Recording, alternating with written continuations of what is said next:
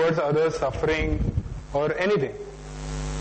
So, and if I am having that, then the santosha will give me anuttama sukhalabha. What is anuttama sukhalabha we can understand. It is, I will get happiness. This anuttama word comes for ultimate. That जिससे ज़्यादा उत्तम और कुछ नहीं best of the best. The ultimate happiness I will experience only when I am contented, I am happy, I am satisfied, I am having santosh in myself. Then comes now.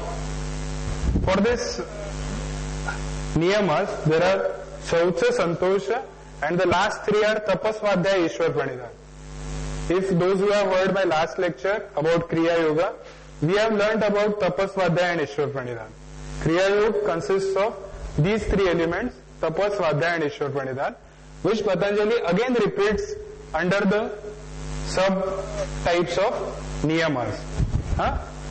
Patanjali has talked about Kriya Yoga in the starting of the second chapter and now uh, in the middle of the second chapter when he starts Ashtanga Yoga, that time he repeats again those three elements of Kriya Yoga under niyamas and those three are Tapas, Svadhyaya and Ishwar.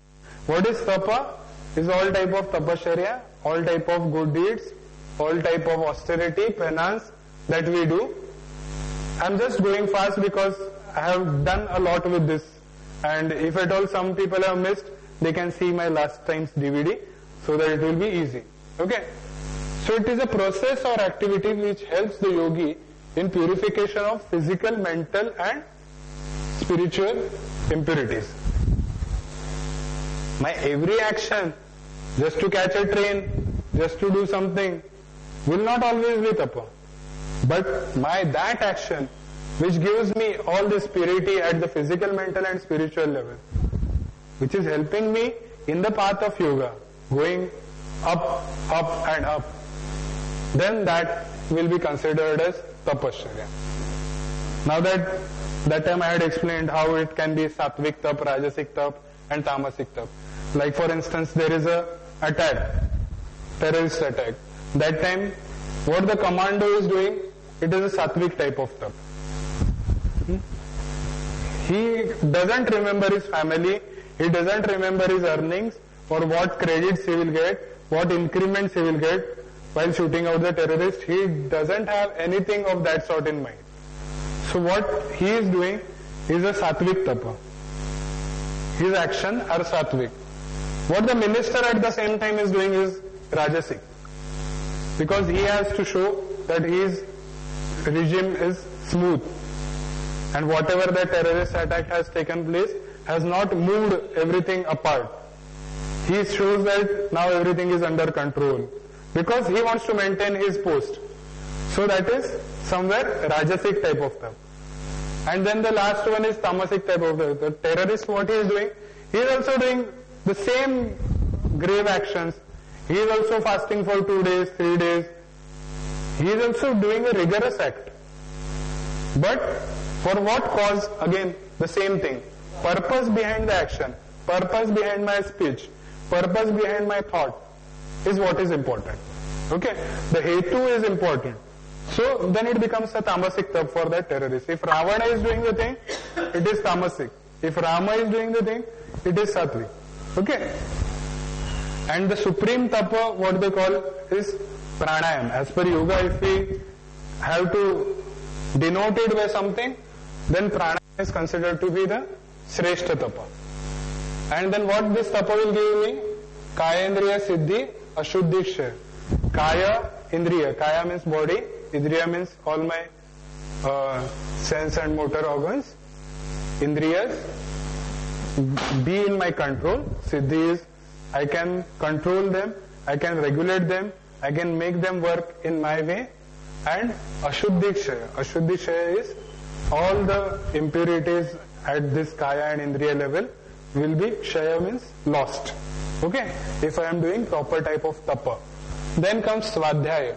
Swadhyaya, if we understand it directly by the word sense, it is self-study. Swa adhyaya. Adhyaya is study. Swa is myself.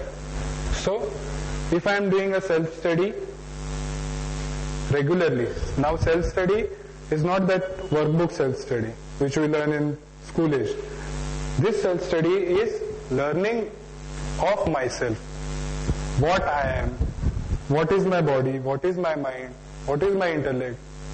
So getting that inner awareness, getting myself introverted from my extroverted being, I have to get introverted and this is what we are learning Swadhyaya. So they also say that if we are reading scriptures regularly, just to make some good inputs into ourselves, then these also come under Swadhyaya. So this again Atma Chintan is self-analysis. Daily if I am doing Atma Chintan in a form of any prayer or in a form of any psychograph or anything, if just analyzing my day, if I am writing a diary and wherein I am judiciously uh, giving proper weightage to uh, my performance on that day at the mental level. And I am marking that chart for myself and after a month if I am going through that chart these are generally called as psychographs and all these things. So anyway may it be a modern way or may it be a, just a prayer uh, in front of a God at the end of the day which is asking for as he said some repentances some good things and all these things if that can come then it is a regular self-study and the benefit of it is Ishta Devata Samprayoga. Again I have to repeat, Devata or God in yoga is not any particular XYZ name, but it is a set of good qualities. Patanjali was very specific. He has not written yoga for any particular religion, any particular cult or any, it, yoga is not a monopoly of any religion. It is for all. If you understand yoga properly, you can understand any of your religion to the more deeper sense. Okay? So, what he is giving as a result? Ishta Devata Samprayoga. Means, you will become one with whichever God or whichever good thing or whichever guru or whatever you want to attain. That set of good qualities, you will be able to attain if you are doing this regularly self-study, may it be reading of the scriptures, may it be prayer, may it be Atma Chintan. Okay? So that was Swadhyaya. And ultimately the last one is Ishwar Pranidhana. Okay? The third one of Kriya Yoga, as I said, Tapaswadhyaya Ishwar Pranidhan. And the last one of the Niyamas is Ishwar Pranidhan. In Ishwar Pranidhan, it is worship of Ishwar with a surrendering attitude. Now this, this part of surrendering attitude, this is the most important part. Okay? Now many of the times some people are theists, they believe in some god, they believe in some guru, that's fine. So they will have something to surrender in front of. But for the people who are atheist, Nastic we call in general language, what they will say that I will not surrender to any god, I don't have any gurus, I am myself.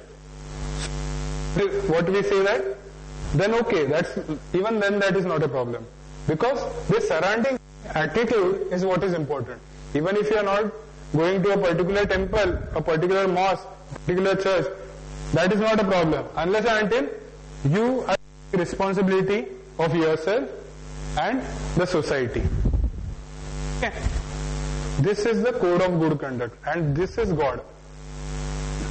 So God is the good in us and the devil is the evil in us. So we have to understand it in this fashion. So ultimately if I am having a surrendering attitude and I am taking care of myself as well as my society around, I am not creating any harm to anyone, then of course I am doing Ishwar Pranidhan. Because they say that either you bend down in front of some Ishwar outside or bend down in the front of the Ishwar inside. At least you have to believe in yourself. Huh? So this is the basic requirement. So that's why if you are doing Ishwar Pranidhan perfectly to 100%, then what you will get is Samadhi Siddhi. So Samadhi Siddhi, Ishwar Pranidhanat, Samadhi Siddhi. So ultimately you will get the result of yoga, that is the attainment of Samadhi. Okay, so today we have gone through, uh, to be very fast, we have gone through yamas and niyamas, we have understood five yamas, ahimsa, satya, asteya, brahmacharya and aparigraha. I have just briefed you